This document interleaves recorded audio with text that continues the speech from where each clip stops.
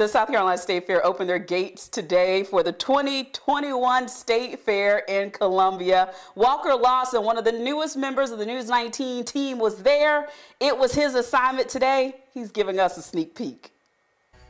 Excitement was in the air at the South Carolina State Fair. Attendees were lined up and thrilled to be back for the fun on foot. I'm just excited that we can come back to the fair to, instead of having to drive through and, and enjoy some fair food and, and the rides. Most fairgoers were excited just for the food. Oh, the fried okra. We came just for the fried okra. When you get through with that, you go to the cinnamon bun with the peanuts, pecan, excuse me, and that's it.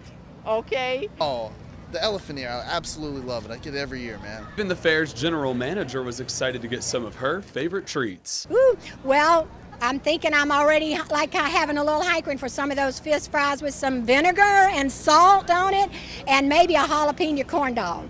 Some were here for the games. Um, I want to go on the mirror maze. Others for the rides. Fairgoers will also get to see performances from live bands over the next two weeks. State Fair runs until October 24th. In Columbia, Walker Lawson, News 19, WLTX. From Walker, one of our A new reporters at WLTX. And yes, uh, you heard Nancy say she wanted a jalapeno corn dog. I've never seen that or had one, but I am open to trying it.